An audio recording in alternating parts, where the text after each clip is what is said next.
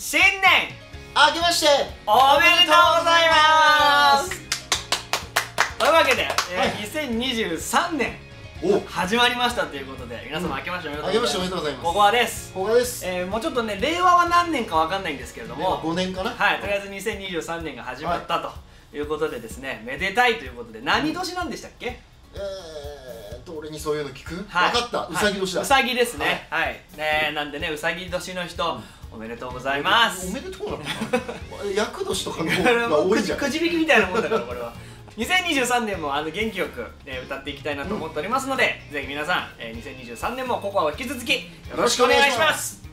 というわけで、えーみんなで一緒に良い年にしましょう。今年もよろしくお願いします。じゃあねー